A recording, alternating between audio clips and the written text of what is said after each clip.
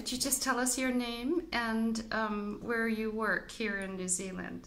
Uh, my name is Gat Luak and I'm working as the operations manager in Auckland Resettled Community Coalition here in Auckland, New Zealand. Great. And I have been working with this organization for three years now. I'm originally from South Sudan. It used to be Sudan then, but it's now split up into two countries, so I belong to the new one, South Sudan. Okay. And Guatlauk, you were telling me about your story and how there was no hope in the midst of your um, of your travels. Can you tell me how you found hope, or or how did you survive through all of that?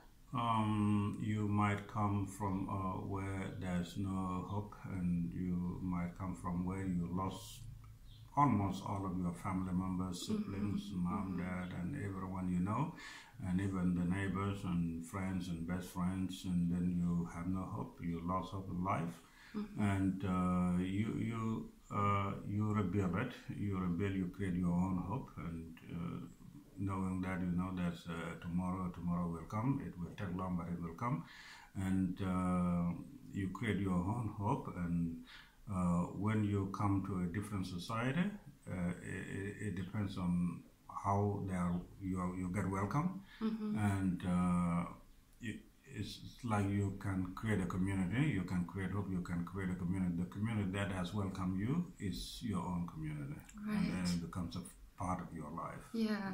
Mm-hmm.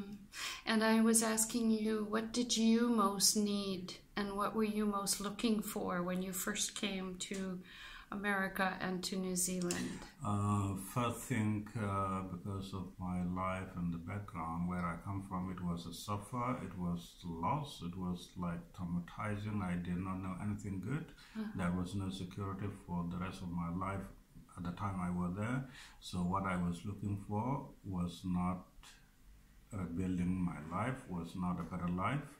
I was looking for security, mm-hmm. a good security, a protection a place where you will not be worried about what will happen to you. And if anything happens, you have somebody who will look after you. Mm-hmm. And and what most gave you that security? As the security is the love uh-huh. you find from the people. People who take you for a ride, people who take you to a coffee shop, people who knock at your door in the morning saying good morning, you know, checking on you. This is mm-hmm the hope. Yes. Thank you. Thank, Thank you. you so